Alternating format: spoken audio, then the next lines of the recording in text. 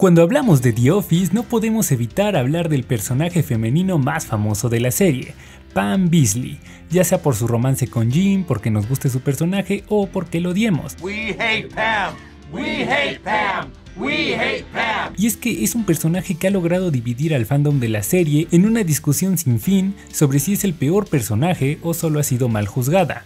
Y hoy, como ya lo viste en el título, hablaremos de Pam, Trataremos de ver si en realidad merece ser tan odiada, veremos qué tan justificado está este odio y sobre todo indagaremos en qué es lo que hace a Pam ser Pam. Comencemos.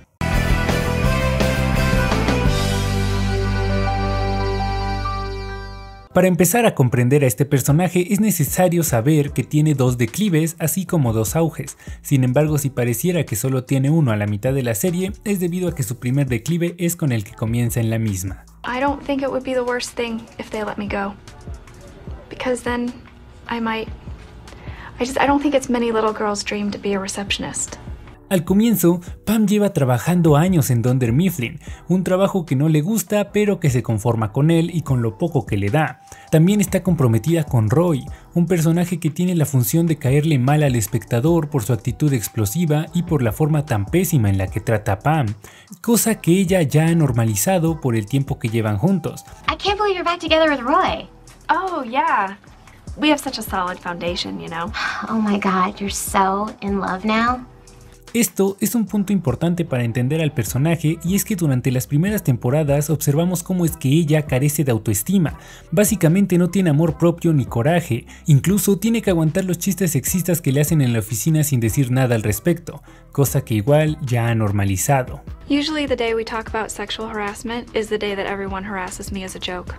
Por un lado, Roy la trata mal y no se atreve a admitir que ya no quiere estar con él porque ya llevan un compromiso y porque llevan mucho tiempo juntos.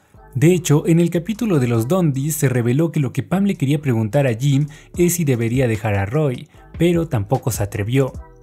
Hey, um, can I ask you a question?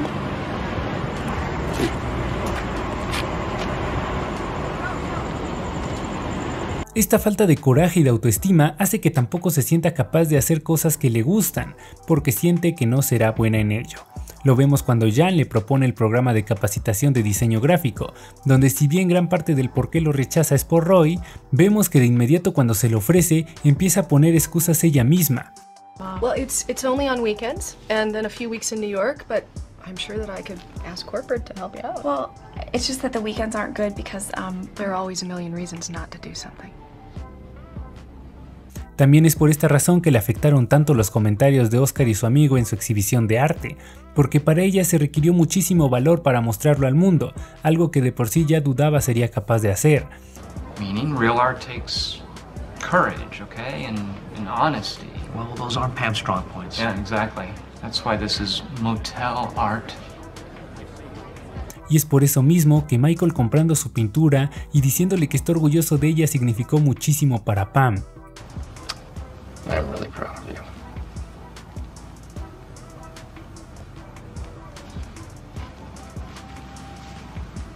Y es que Pam no considera que deban tratarla como alguien especial o mínimamente bien porque ella misma no se siente de esa manera. It's impractical. I'm not gonna try to get a house like that. Um, they don't even make houses like that in Scranton. So I'm never gonna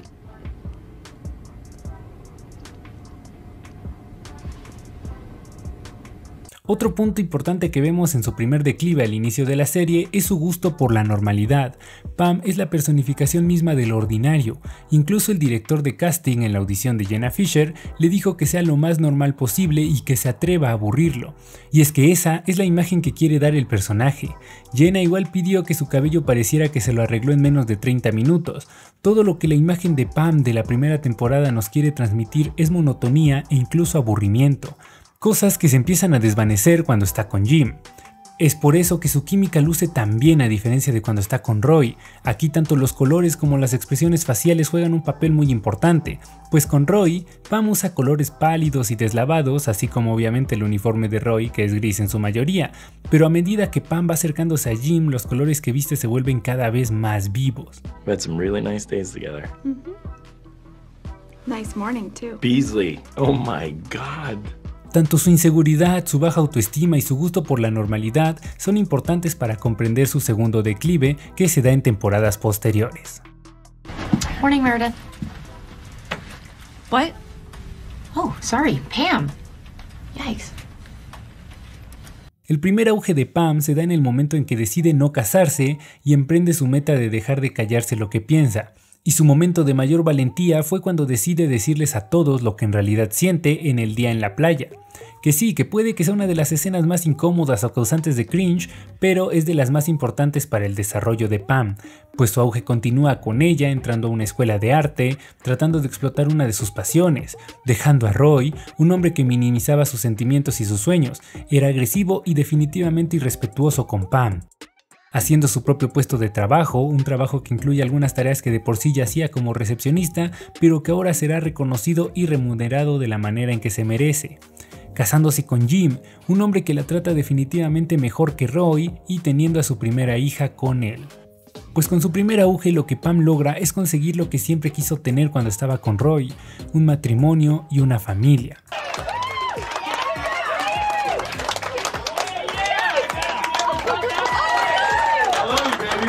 Hasta este punto, que es el final de la sexta temporada e inicio de la séptima, tenemos un crecimiento de Pam bastante considerable, pero no absoluto, pues es aquí donde empieza su segunda decadencia. Pero antes de hablar de eso, repasemos los puntos clave de Pam hasta el momento. Sabemos que al inicio de la serie tenía una baja autoestima, por eso permitía que Roy la trate de esa forma. También que no tenía metas a largo plazo más que la de casarse, pero carecía de metas individuales. Carece de coraje para decir cuando algo le disgusta o incluso para decir lo que piensa. Adora la normalidad, es por eso que cuando hace algo espontáneo se emociona tanto. Y hasta el punto donde logra tener una familia, Pam va mejorando en cuanto a su autoestima, coraje y sueños. Pam en la oficina también toma el lugar de cuidadora, pues es la que se encarga de ayudar a sus compañeros cuando tienen dificultades y de dar apoyo a la mayoría si es que lo necesitan, invirtiendo tiempo en hacer cosas que no son parte de su trabajo pero que harán sentir bien a otros. De hecho, esta puede ser una de las razones por las que Dwight llega a sentir más cariño por Pam que por cualquier otro personaje de la serie, entre otras cosas. También Pam conoce muy bien a cada miembro de la oficina. Esta es una de las razones por las que le fue tan fácil conseguir las firmas de cada jefe de área para conseguir su trabajo de administradora de la oficina. But I'm off to a good start. Oh man, if I can pull this off, it will be the scam of all scams. La segunda decadencia de Pam se hace presente en la mitad de la séptima temporada, donde vemos cómo es que todo lo que le ha pasado le ha afectado, y le confiesa a Jim que siente que ha fracasado tanto como artista y como vendedora, y no quiere fracasar como administradora de la oficina. En este caso Dwight la ayuda, pero vemos cómo es que Pam siente que no ha sido buena en nada de lo que se ha propuesto hacer. La inseguridad y baja autoestima de Pam regresan debido a que cuando se atrevió a hacer cosas nuevas o cosas que le gustan, no logró sus objetivos y tiene miedo de volver a fracasar ya que siente que no será buena en nada de lo que se proponga. I don't want to fail again. You didn't fail. That's what you said about art school and that's what you said about sales. And you didn't fail those things either. Well, I'm not an artist and I'm not a salesman. También su gusto por la normalidad genera un enorme problema en esta segunda decadencia del personaje que se hace presente con la nueva empresa de Jim, Athlete. Para empezar, al inicio de la temporada 9, Pam les dice a los de las cámaras entusiasmada que probablemente ya no habrá nada nuevo en sus vidas, esto porque recordemos que ella quiere una vida normal y tranquila con su familia, pero Jim se ve desconcertado ante esto. I don't think anything's gonna change in our lives now. With work and two kids, I just Nothing interesting is going to happen to us for a long, long time. Cuando pasa lo de Athlete, Pam se enoja de inmediato, Primero porque no le había dicho y segundo porque su vida tranquila y normal se ve afectada por la empresa de Jim. Recordemos que le costó mucho llegar a este punto, donde ya tiene un buen trabajo con su esposo y sobre todo una vida con su familia. Sin embargo, esta no es la única razón, pues conforme avanza la serie nos enteramos que esta diferencia de metas con Jim buscando concretar una empresa que lo remunere como él se merece y ella buscando una vida tranquila hace que Pam no se sienta suficiente para Jim. I'm enough for you and I'm afraid that I'm not enough for you. Is that really what you think? Y eso se le suma que Jim casi nunca reconoce la labor de Pam en la relación, como cuando cuidó a sus dos hijos, cosa que en la serie nos demuestran que es bastante difícil para Pam. Sin embargo, la raíz de estos problemas viene en su mayoría de la comunicación. Por un lado, recordemos que Pam no ha tenido el valor para decir lo que en realidad piensa, y eso pasa mucho cuando Jim hace cosas sin consultarla. Cuando Jim compra la casa, Pam se ve desconcertada y algo descontenta, pero como Jim lo presenta como una muestra de amor, sumado a que a Pam le falta valor para decir cuando no está de acuerdo con algo, no puede protestar ante eso. Con lo de Adlit, ella tampoco podía decir que estaba inconforme con que se vaya y la deje sola porque se estaría interponiendo en los sueños de Jim, y aquí es donde vienen los problemas, todo por la falta de comunicación. Esto hace que Jim tenga que quedarse en Donder Mifflin, pero ahora Pam se siente culpable. Sin embargo, cuando Pam le confiesa su inseguridad y que no se siente suficiente para él, Jim le demuestra que su vida normal en Scranton con ella y sus hijos es todo para él, y entonces la inseguridad de Pam desaparece, porque ese era su temor. Su temor era que Jim pudiera buscar algo más que la familia con la que ella siempre soñó y con la que está tan a gusto. Y es entonces cuando vuelve a surgir esta Pam valiente y vuelve a su auge, vendiendo la casa y ayudando a Jim, su esposo, a perseguir sus sueños.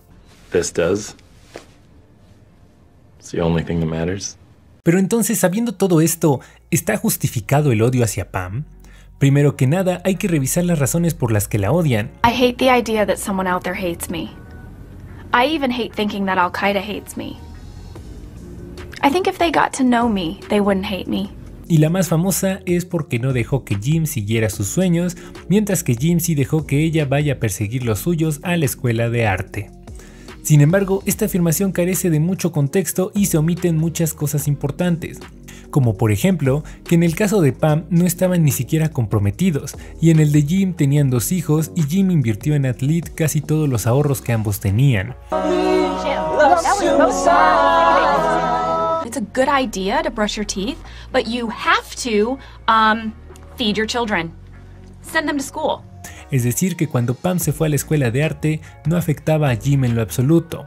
Incluso recordemos que consiguieron unos auriculares Bluetooth para hablar todo el tiempo. Y la única vez que se pudo ver afectado Jim con esto fue cuando Roy casi lo hace dudar de si Pam le era infiel. Pero esto en realidad no cuenta ya que no eran realmente sus ideas. No. You know what? No, because I'm not that guy. Y en el caso de Pam, ella tuvo que cuidar a sus dos hijos y conforme pasa esta situación vamos viendo lo difícil que esto fue para Pam, viéndole un claro desgaste físico y emocional en el que para ser sinceros, Jim no ayudaba en nada. Pues mientras Jim viajaba en limusina, Pam trataba de eliminar los piojos de su hija. I am trying to make everything perfect here, okay? So that you can have everything that you want. Igual es injusto decir que Pam se interpuso en los sueños de Jim porque en ningún momento ella le pidió que dejara a Adlit.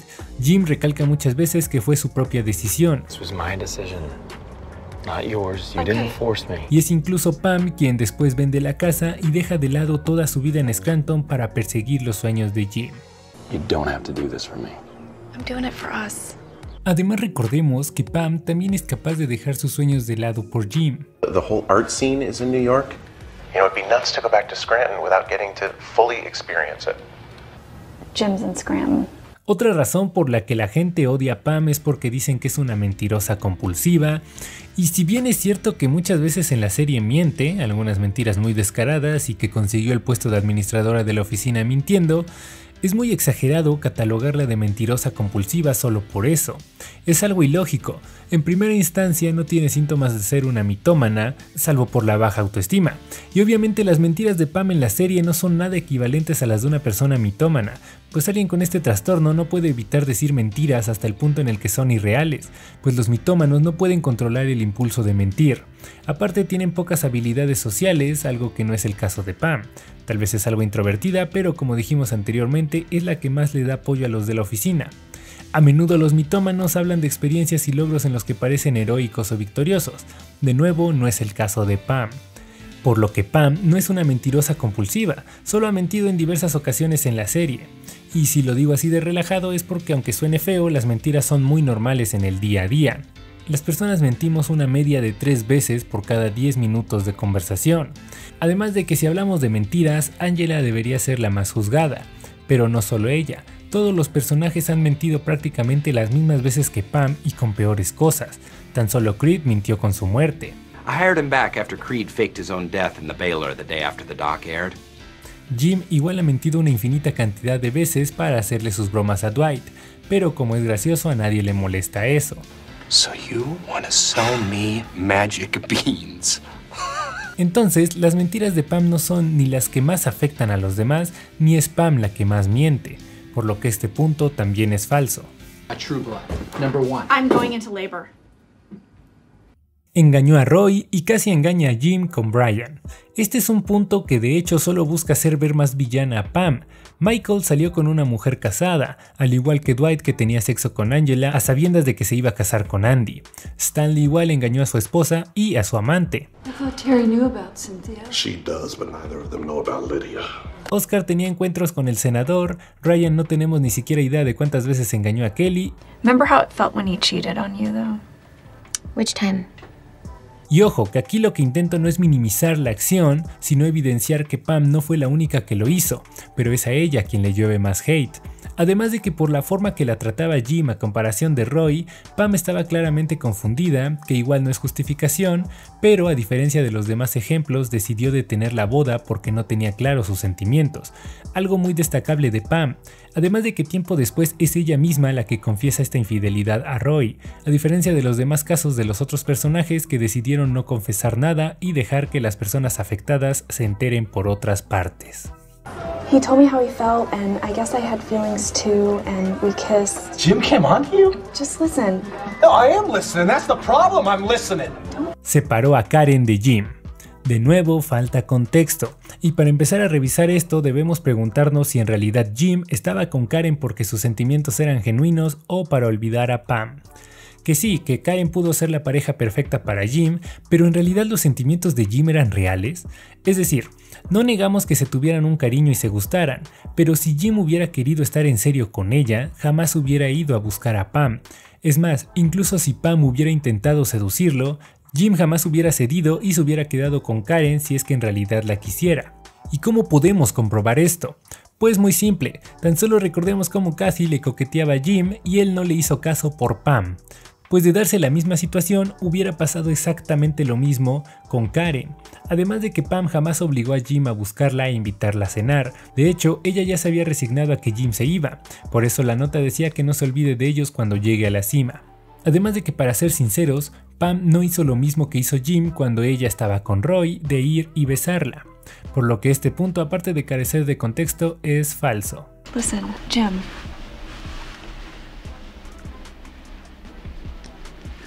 Sentía celos de Kathy cuando a Jim ni siquiera le atraía. Este punto es cierto y de nuevo no intento justificar nada, pero recordemos la baja autoestima de Pam. Ella ya no se sentía linda, cosa que le confirma a Dwight, y no se siente suficiente para Jim, cosa que repito no la justifica, pero hace que entendamos el porqué de sus celos. Well, now, obviously, you're an all time low. Y una vez más repito que en ningún momento intento justificar las malas acciones, pero es impresionante que a pesar de que en la serie los demás personajes hacen cosas peores, es Pam la que se lleva el hate de todos. Por lo que en conclusión, este odio hacia Pam no está justificado. Sin embargo, cada uno es libre de que le gusten o disgusten ciertos personajes de una serie, pero de ahí a que quieras dar razones mal fundamentadas y con poco contexto para que todos odien a un personaje, hay una gran diferencia. Pam is kind of a bitch. Después de todo, tanto Pam como todos los personajes de The Office tienen sus defectos, sus auges y decadencias. Todos hacen cosas malas en algún momento de la serie y eso es parte de la gracia y esencia de la misma.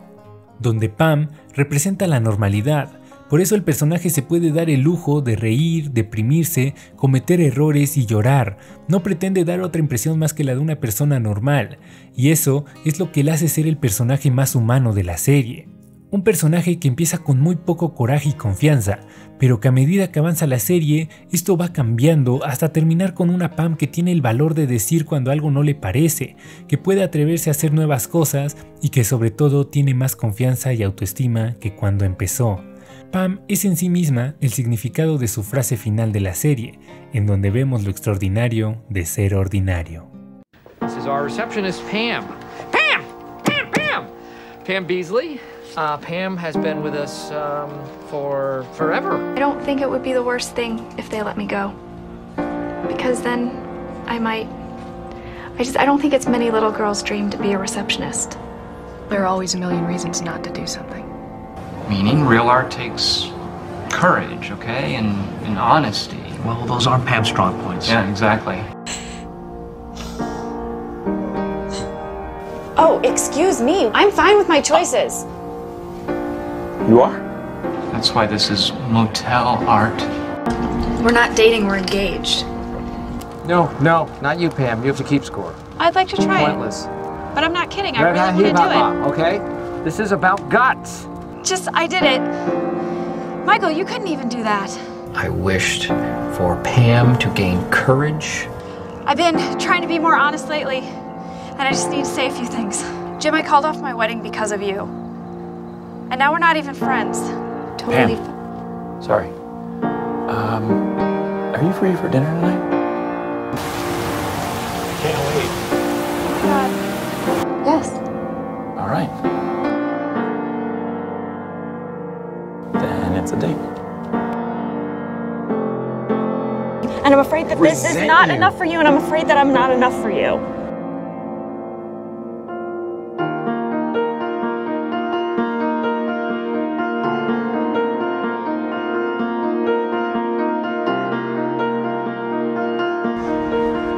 Love suffers long and is kind. It is not proud. Love bears all things, believes all things, hopes all things, and endures all things.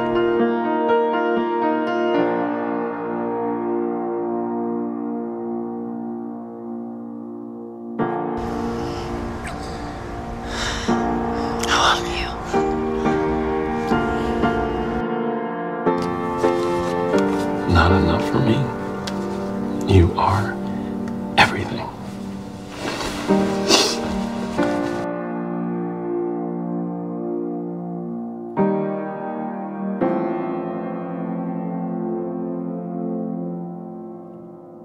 There's a lot of beauty in ordinary things. Isn't that kind of the point?